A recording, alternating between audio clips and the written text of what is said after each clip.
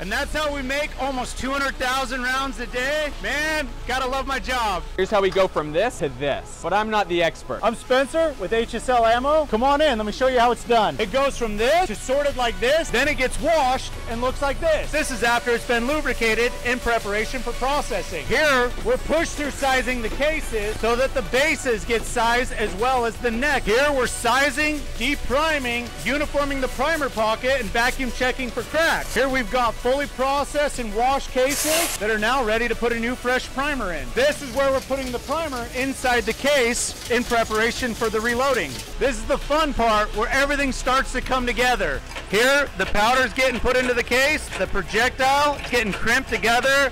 Here, the rounds are getting added to our polisher.